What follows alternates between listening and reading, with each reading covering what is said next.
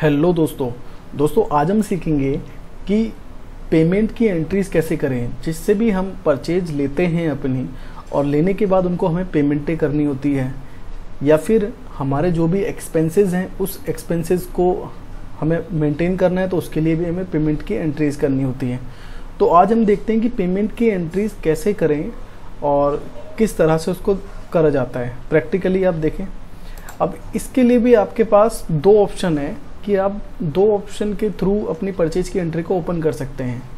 पहला ऑप्शन ये है कि आप अपने अकाउंट्स के मेनू के अंदर जाके सबसे पहले ये वाउचर एंट्री और वाउचर एंट्री में आप पेमेंट में जाके पेमेंट को ही चूज़ करें। जैसे ही आपने पेमेंट को चूज़ किया और आपके पास एंट्री ओपन हो गई। पहला तो ऑप्शन ये है। दूसरा ऑप्शन ये है कि आपको अपने मार्क के डैशबोर्ड पे ही जो शॉर्टकट बटन्स होते हैं, वहाँ पे आपको पेमेंट का ऑप्शन दिखेगा। आप इस पर क्लिक करेंगे।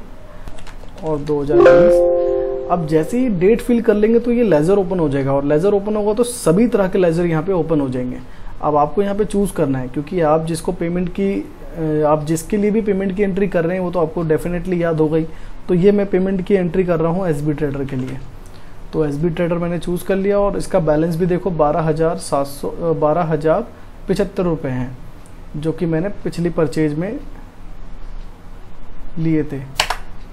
अब जैसे ही आपने इस पर एंटर किया तो आपने कितनी पेमेंट इनको करी? अब सपोज़ कि मैंने इसको दस हज़ार की पेमेंट करी है।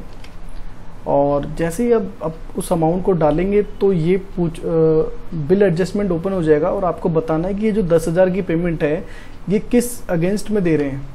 आप जैसे ही एंटर करेंगे तो इनके जितने भी बिल एंटर हुए होंगे तो वो सभी आ जाएँगे यहाँ पे। जैसे कि ये बिल इसका एंटर हुआ है जो कि 28 तारीख का इसका बिल है और बारह हज़ार पचहत्तर रुपये का इसका बिल है। तो ये मैंने चूज़ कर लिया, इसको मैंने इससे एडजस्ट कर दिया। उसके बाद आप सिंपली एंटर एंटर करें। अब अब आपको यहाँ पे ये बताना है कि आपने इनको कैश पेमेंट की है या आपने इनको बैंक से पेमेंट की है।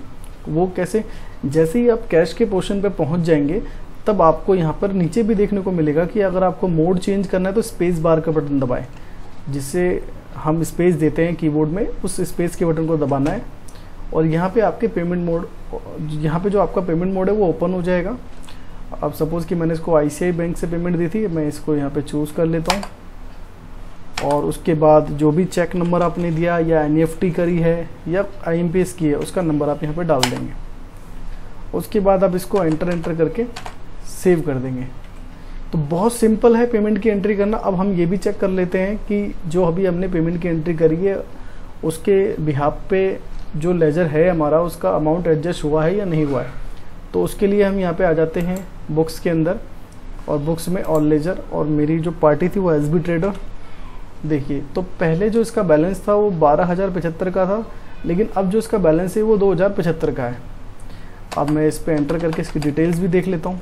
तो देखिए, कि ये 28 तारीख को परचेज बिल आया है बारह हज़ार पचहत्तर का और मैंने इनको उनतीस तारीख को पेमेंट कर दी दस हज़ार की। अब जो इनका बैलेंस है वो दो हज़ार पचहत्तर रुपये का है।